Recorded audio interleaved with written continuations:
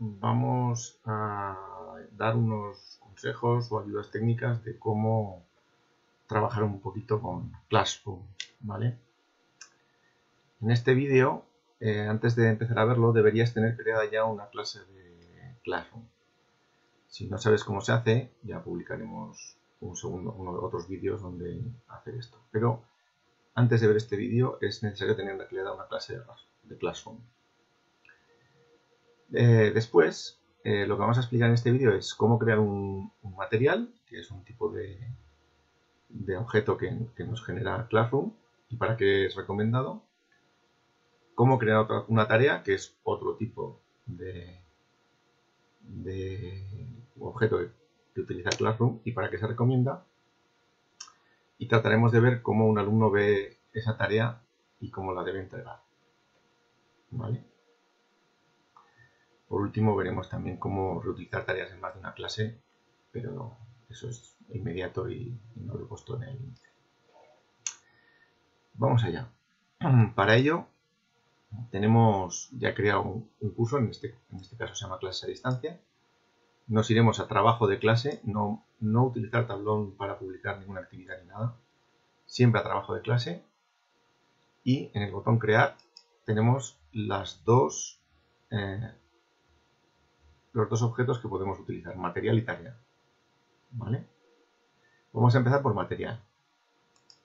Material es indicado cuando no queremos saber si el alumno, eh, obtener realimentación del alumno, no queremos saber si lo ha leído o si no lo ha leído.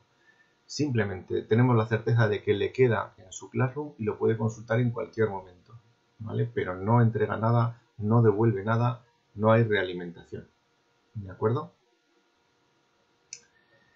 En este caso, por ejemplo, vamos a, poner eh, materiales, sesiones 1, 2 y 3, supongamos. En la descripción, que no hay por qué poner nada, vamos a poner en este eh, o mejor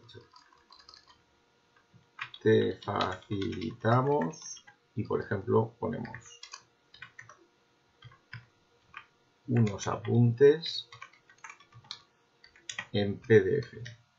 Yo siempre utilizaría PDF en el caso de estar entregando un material, porque es simplemente para que el alumno lo lea y no lo trabaje. Si queremos que lo trabaje, deberíamos hacerlo en una tarea. Un vídeo que debes ver y una web que debes visitar. Vale, le vamos a añadir estos tres materiales. Podríamos hacerlo en tres entradas diferentes, pero así vemos todas las posibilidades en un solo. Antes de seguir, es muy interesante crear temas. Entonces aquí podríamos poner simplemente el tema 1, como se titule, tema 2, tema 3, lo que queramos. ¿De acuerdo? Y también podemos hacer actividades personalizadas, pero yo creo que no merece la pena. Entonces, una vez puesto el tema y una descripción de lo que facilitamos en este material, añadimos el material. Y lógicamente vamos a añadir eh, un archivo para el PDF. Ese archivo yo lo tengo en una carpeta, que es este, lo arrastro, suelto, se sube y ya tengo añadido el PDF. Ahora voy a añadir un vídeo. Pues lo normal es que ese vídeo esté en YouTube. Vamos a suponer este pues simplemente copiamos el enlace, venimos a la clase, añadir enlace al material, pegarlo, control V y añadir enlace. Y por último, por ejemplo, una web a visitar. Pues lo mismo, imaginemos que es la web del departamento, copiar, volvemos a, nuestro, nuestra pestaña con, con el material que estamos creando, añadir otra vez un enlace y pegar.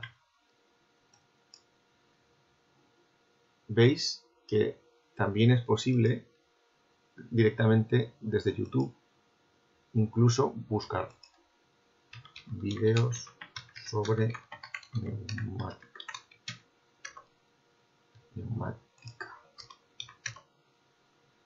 Entonces nos aparecen, seleccionamos el que queremos y nos hace el enlace. Pero normalmente tenemos ya seleccionado.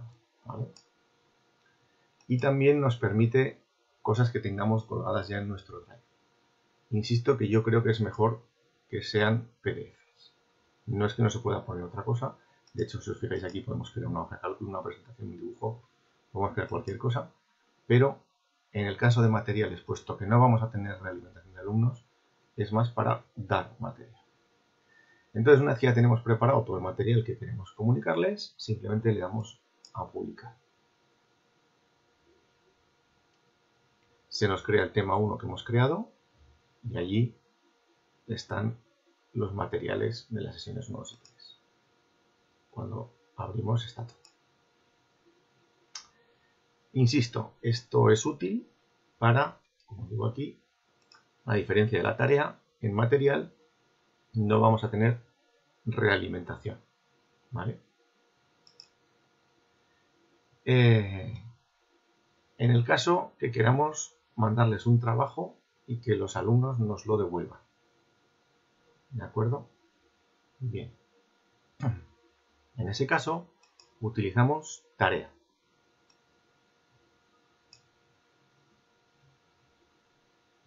Como veis, el interfaz es muy similar. Aquí pondríamos tareas de las de las de la, bueno, la sesión 1 y aquí vamos a hacer una cosa que puede ser muy habitual y es eh, que nosotros les damos una plantilla, ellos se descargan esa plantilla y nos devuelven esa plantilla. Entonces, las instrucciones serían descarga completa y entrega el ejercicio. Entonces, si es una plantilla, lo normal es que sea un texto. Muchos tendremos preparados Words. Y eso sí que es muy desaconsejable. Y de hecho incluso creo que no, no permite hacerlo. Depende un poco del estado de la versión. Es muy interesante hacerlo directamente en un documento de Google, porque de esta manera podemos hacer, el propio sistema hace una copia para cada uno. Luego alumno la baja y la, la puede volver a entregar. Entonces, eh, lo podemos crear directamente aquí. Le damos a crear, documento, y lo llamamos, por ejemplo, ejercicios sesión 1. Eh, aquí podemos ponerlo lo que queramos. Completa. Con una redacción y le ponemos que la haga ahí. Vale esto no habría que ponerlo pero la idea sería que le escribieran ahí vale entonces lo vamos a, quitar. Y si hay más preguntas pues a un resumen del capítulo. ¿de acuerdo? y les dejamos aquí una orientación del, tamaño que tiene que tener la línea aunque esto no es muy bueno porque cuando empiezan a escribir irá para abajo pero bueno entonces les les ponemos estas dos preguntas. Sin mucho formato, sería ideal que le diéramos más formato. Cuando ya hemos acabado, simplemente cerramos nuestro ejercicio. Es muy interesante que haberle cambiado el nombre y no tener muchos ejercicios que se llamen sin título. Cuando ya hemos acabado, es lo que nos avisa aquí, es muy importante la configuración para compartir. Es decir, aquí hay tres tipos de configuración. Si ponemos un Word probablemente solo nos da dos, ¿vale? Y la que nos interesa ahora es hacer una copia para cada alumno. ¿De acuerdo? De esta manera el alumno bajará, pero no me chafará mi documento, ni me editará mi documento. ¿De acuerdo? Tendré yo la plantilla por si lo quiero hacer en otro momento, en otro, en otro tiempo. Aquí anotamos la puntuación máxima que va a sacar el alumno cuando entregue su, su, trabajo. si es sin calificar es que no le vamos a poner nota. Aquí le podemos dar el plazo de entrega, incluso con la hora. Y aquí, insisto, es conveniente, pues como ya teníamos el tema 1, pues asociarlo a un tema. Entonces ya tenemos título de la tarea, instrucciones, documento creado, aunque sea más sin título, le hemos cambiado el nombre, esto se actualizará en cuanto lo guardemos. Documento creado para que los alumnos hagan una copia y seleccionado hacer una copia. Ya estamos en condiciones de crear la tarea. Y ya está la tarea publicada. Y entonces ya tenemos un material, es decir, solo si queremos enviarles información sin realimentación y mm, una tarea para que, al revés, el material es lo de abajo y una tarea para que nos devuelvan un trabajo a partir de una plantilla. Bien, vamos a ver qué ve el alumno. Normalmente no lo sabemos porque nosotros solo tenemos cuenta de profesor, por ejemplo. Entonces, en este caso, ¿qué ve el alumno? Pues aquí hemos abierto la cuenta del alumno que tenemos matriculado aquí entonces, en el trabajo de clase ve las dos, el material y la tarea. El material lo puede ver, puede ir a los enlaces, puede descargar el PDF, abrirlo, etcétera, etcétera, pero no puede hacer nada más, no nos puede informar de lo que habíamos dicho. Mientras que en la tarea de la sesión 1, si, vamos a ver tarea, eh, aquí te dice las instrucciones y aquí ya está el archivo sobre el que va a interactuar. Entonces, él aquí hará la redacción.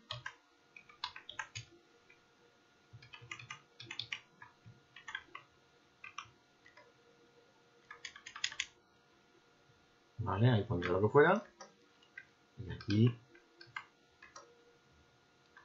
pondría lo que fuera. ¿Vale?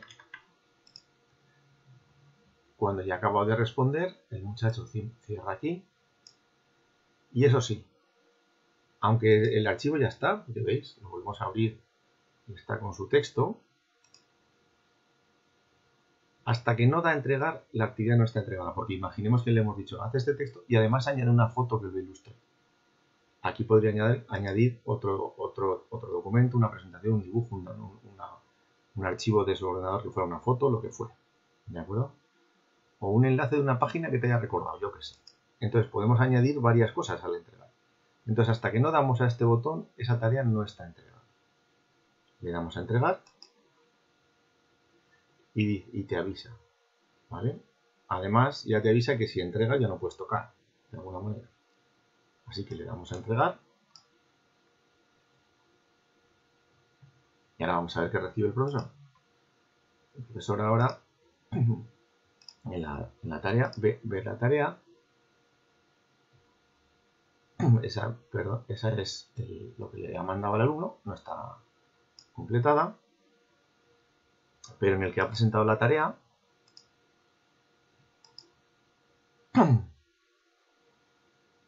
ya tiene el archivo con lo que ha presentado ese alumno. Aquí le puede poner la calificación y un comentario privado que solo leerá el alumno. Ojo, porque si ponemos comentario privado y no ponemos calificación, lee el comentario privado antes. Entonces conviene hacer las dos cosas a la vez. La calificación se, se, se, devuelve en cuanto le doy aquí a, a devolver. ¿De acuerdo? Comentario privado ahora parece que no funciona. Bueno, entonces, eh, el comentario privado, insisto, se publica en cuanto devuelvo, en cuanto lo pongo y la calificación cuando le doy a devolver. nota. Eh, así que ya más o menos hemos cumplido los dos objetivos de este vídeo, que era cómo crear un material y cómo eh, crear la tarea y cómo ve el alumno. Voy a comentar una cosa más, que es si tenemos varios grupos, no hace falta volver a hacer, eh, volver a crear eh, esa tarea, porque tengo reutilizar la publicación y entonces aquí me dice las clases donde tengo publicaciones y que puedo utilizar de cada una. Selecciono, le doy a reutilizar y se vuelve a publicar. ¿vale? Si tengo, por ejemplo, tercero A, tercero B, tercero C, pues, pues lo hago en cada una de las clases, reutilizo la publicación con algún pequeño matiz. ¿De acuerdo? Bueno, pues espero que esto os clarifique algo y